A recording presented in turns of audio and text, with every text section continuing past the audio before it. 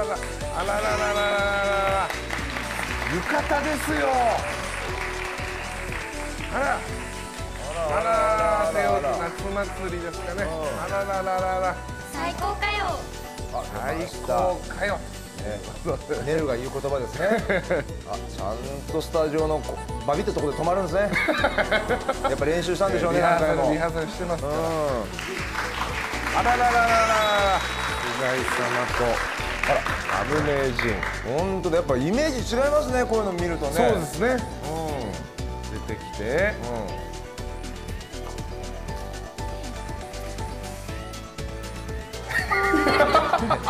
言葉は発さないというお回って。ああかわいいね。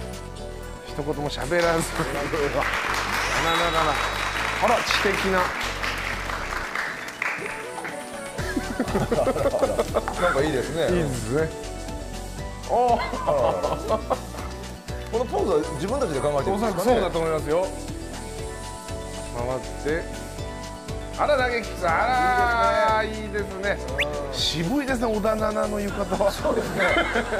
色がね渋いですね。はいあらできるかなあの二人は。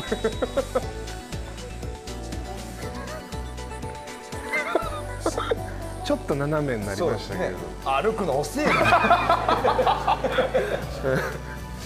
来て。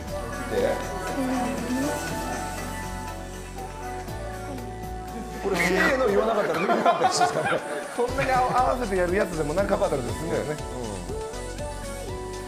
あシンプルに手を振るやつですねいいですよやっぱり浴衣は。可愛らしいね。早くかけねえかな、本当に。ずっと手振って長なめに手振ってましたけど。ああれ三人だ3人になりました。あいいですね、うん、あ斉藤さんが今忘れましたね。忘れましたね。真ん中の子は小学校の子です小学生じゃないですよ。違いますねもうね。ずっと言われちゃうね腹立たれますねそれはそうです。ん。まだこれあらあらね浴衣ってあんま見ないからね。ね。いいですね。はい。いいですね。そろそろ変な浴衣のやつ出てこないですかね。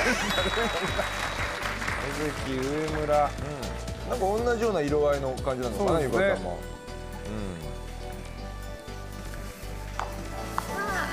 あちっちゃい声でわあ、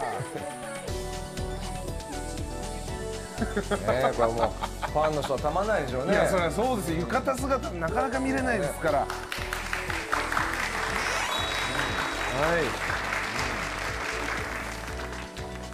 松本梅さん。あら大きなハート。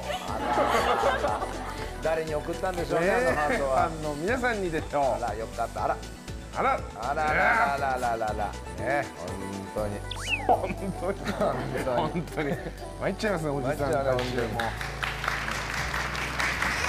出た。あ、出た。やっぱあの二人一緒なんですね。そうですね志田とリサやっぱりちょっとこうクールな浴衣ですね。そうですねうんシックなあね、あんまサービス精神ないんでしょうか。あ 浴衣着てるのにあら、あらギュッとあっ。てと楽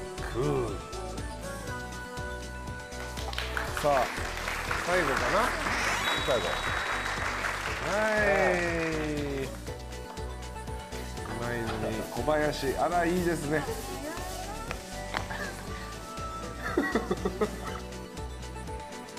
これファンたまらないんでしょうね、こういうのは。すよ。回ってシュッと。ああいよっしゃや本当に